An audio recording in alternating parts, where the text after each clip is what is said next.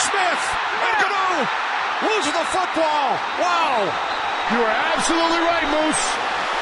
It ain't over till the fat lady sings.